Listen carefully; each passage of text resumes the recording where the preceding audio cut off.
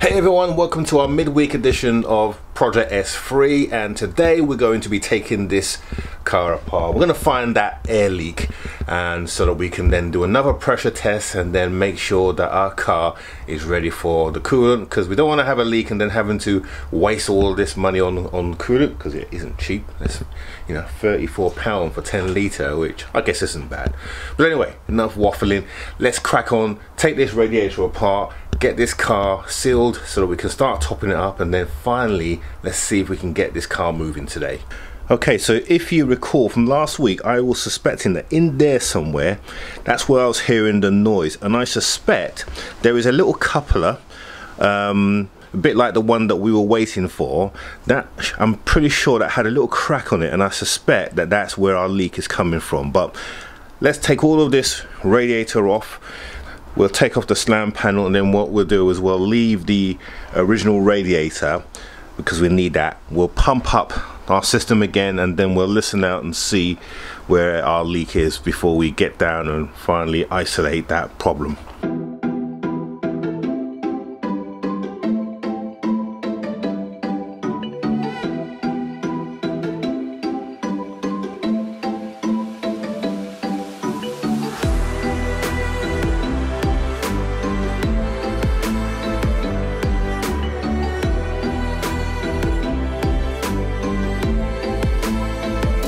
okay so this is what I've done. So I've taken off all the downpipe hairs leading into the throttle body so I can get better access to this system here this pump here. Um, so this is the pipe that I suspect that is causing my leak. Now this pipe goes right into here fits into this uh, this this link here. Now here you can just see down here this is broken although it doesn't seem to be affected although that's what I think. But I think that this is where our leak is coming from this pipe here. So we're going to connect that up. We'll pressure test the system again and now that we've got the all this out of the way we are, we are going to have to put the radiator back. But um, what I'll do is I'll just hang the radiator without any of the um, bits and bobs and that should work just fine. So let's just see if that is where the issue is. Okay so we've got our radiator hanging in place all connected up. We've connected up all of our pipes. We've got this we've disconnected from the top of the radiator fan assembly so we've got our link. So let's pressurize our system again and uh, let's see if we can identify where that leak is coming from. So here we go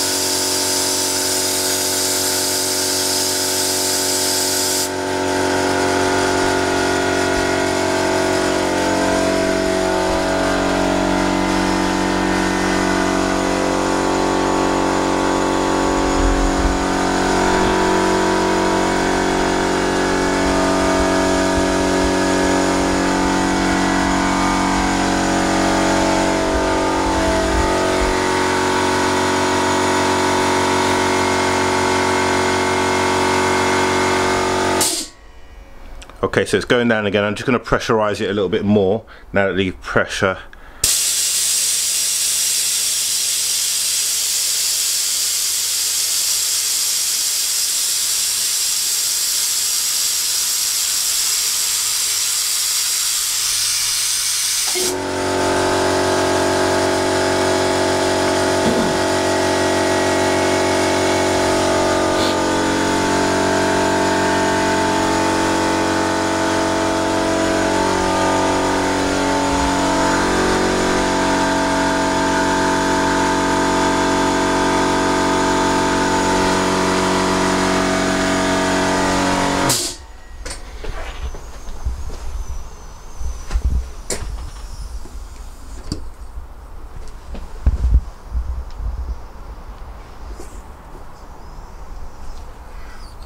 Okay, looks like it's coming from here.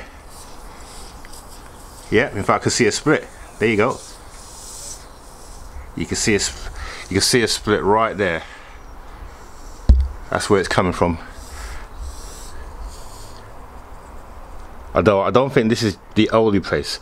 So what I'm gonna do, I'm gonna cut this pipe, I'm gonna cut this pipe back and then we'll try that again. So let me do that and then we'll, we'll do a pressurize again. Because I'm not convinced that this is the only place. I think it might be coming out from here as well, but let's try.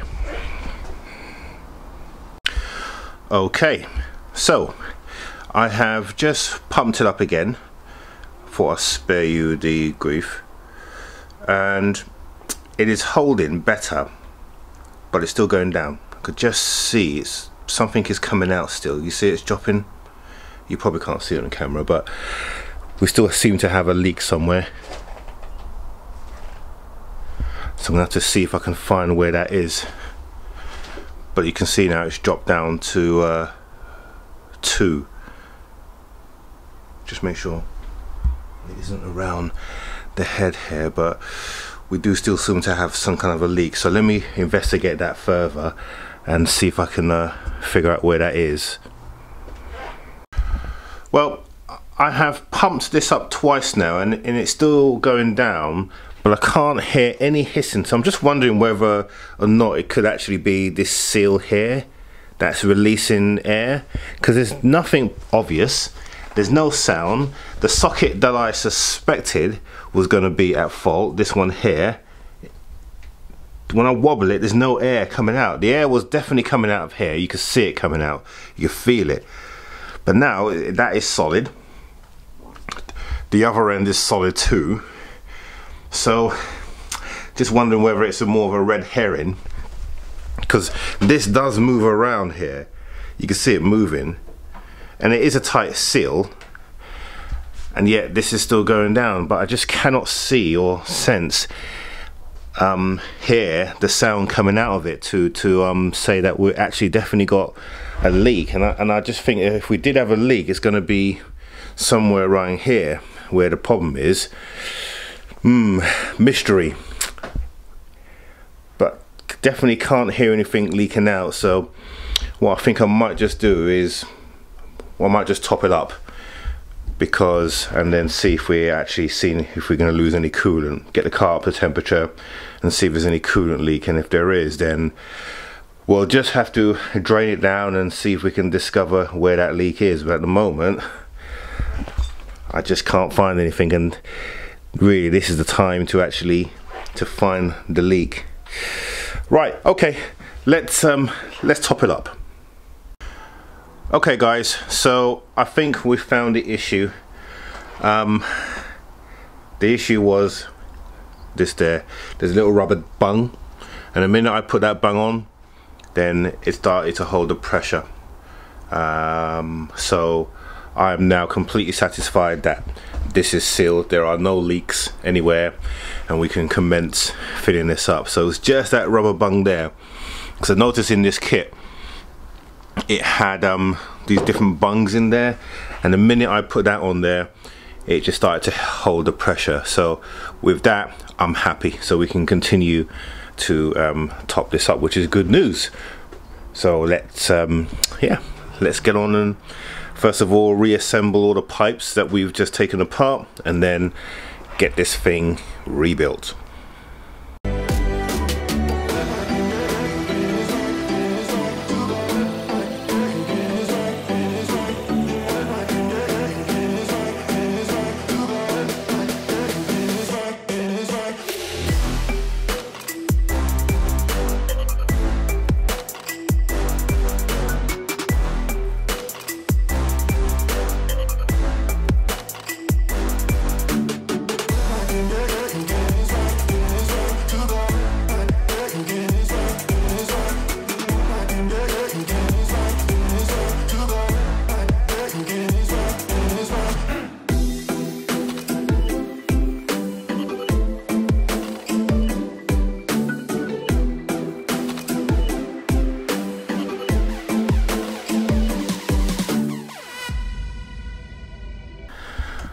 Okay, so we're back where we started.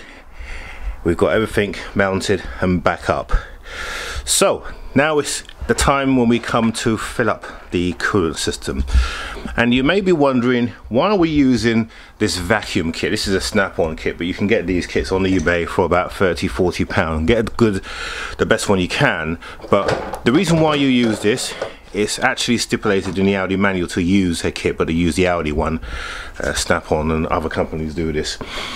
Now, as I've explained before, because of the complexity of the cooling system there's absolutely no way that just by topping this up using conventional pour method will you get all the water circulating the system the only way you can do this is by using a vacuum pump system with a, a compressor and it's quite an effective way of bleeding your car because most modern cars they have a lot of intricate intricate pipe work and um, the water goes up and down etc you imagine that the water comes up this high um, this is the highest point this pipe here. Uh, and then we've got pipes down the back there for the matrix. The heater matrix goes up to there. So it's, it's not impossible to try and bleed this system now you're supposed to have the heating system on but we haven't got the um, we haven't got the car connected up so we may get some air in the system um, but we should be able to bleed it out with with this. So let's get this on. So essentially what we'll do is we'll mount our tank up here our our um, coolant which you can see down there. And the coolant that we're chosen or the coolant that is specified for this car and it's really important that you get the right coolant for modern day cars.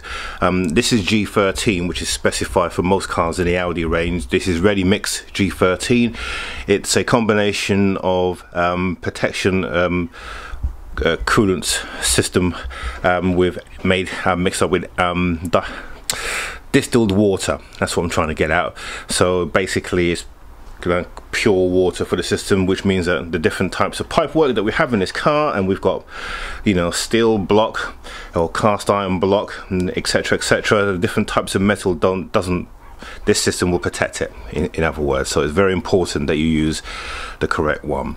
So this is triple QX purple antifreeze summer coolant as you can see there but it's specified G13 now we need two of these because this car takes 10 liters. So I'm going to show you the process now and um, yeah let's just show you the process.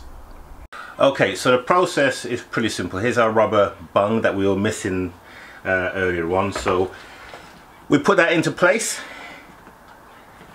and that's going to help us create a nice tight seal then we've got our vacuum pump.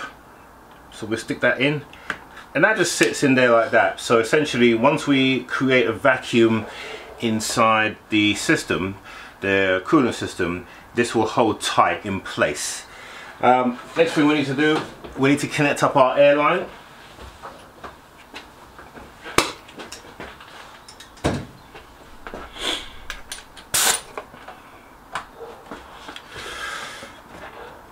So that's in place. And then what we'll do is we will pump up the system or we'll basically take this right up to about ooh, about 2.5 bar. Okay and by doing that we'll suck all the air out of the system then we'll get it ready for the next stage. We need to make sure that this tap is off first of all otherwise it will be just sucking in air which is what we don't want. So we'll do that now. You'll hear the compressor come on in, a, in shortly as we um, get the system up to pressure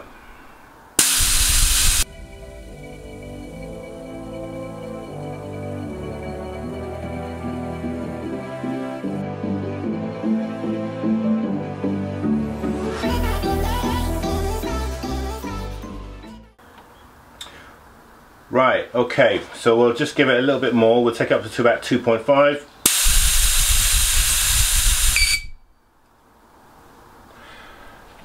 Now we're ready to prime. Now it's really important that we don't let this run dry, otherwise we have to start the whole process again. So we'll open up the valve and you will see the um, first lot of coolant start going in.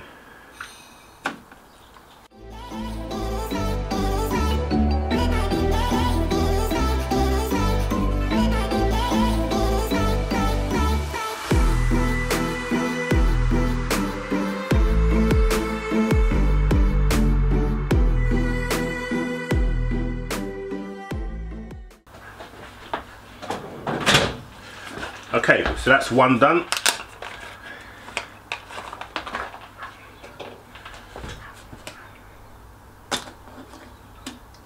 Let's get the other one ready. We've still got some coolant in there and what I'll do, I'll top this one up It's part of the process.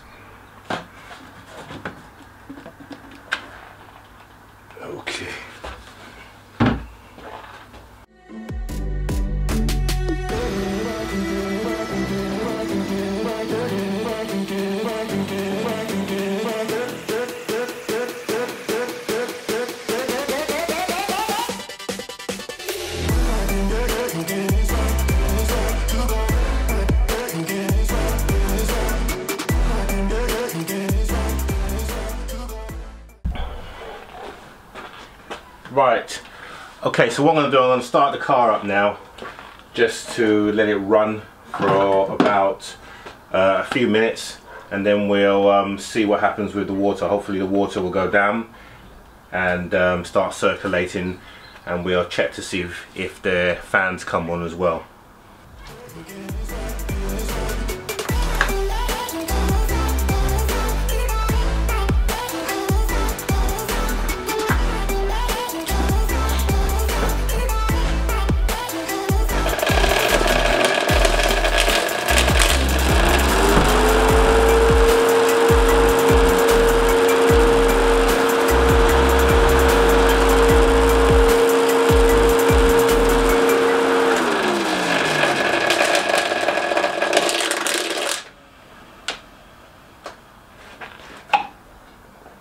No worries, just a cable. Just wonder what that noise was. Okay, let's try it again.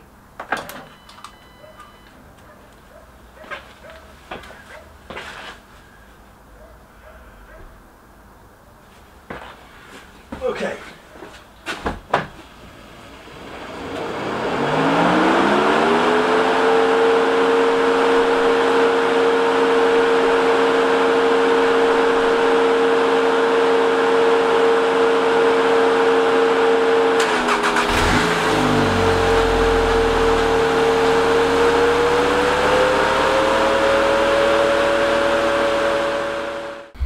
Okay, so successful test, I think.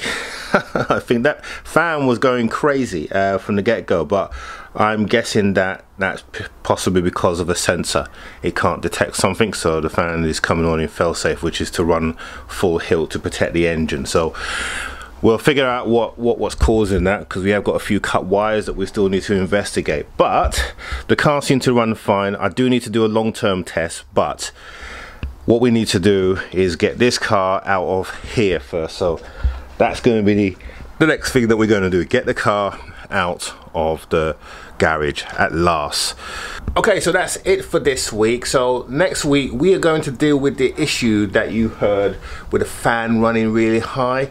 And um, we're going we're now getting into the electrical fixes staging of this uh, this car. So we're making some fine progress there. So uh, thank you for viewing this one. It's been a bit of a long one today but you guys have been asking me for a longer video so you have got it. So don't forget to subscribe down here. Press that bell notification so that you know when we release new videos and you can keep up to date with Project S3 so have a good rest of the week guys and we will see you on Monday